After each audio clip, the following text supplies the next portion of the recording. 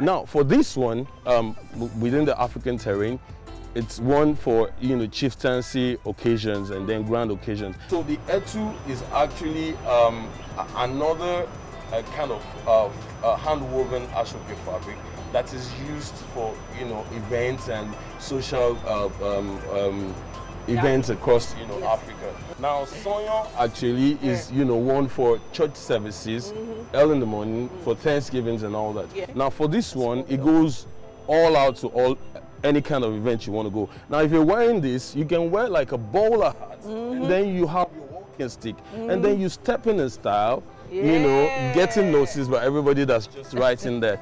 This can be worn for any kind of event. Gone are the days when people say black is for you know, mourning. Yes. You know, I don't believe black is for mourning. I believe black styles you up and then stands you out.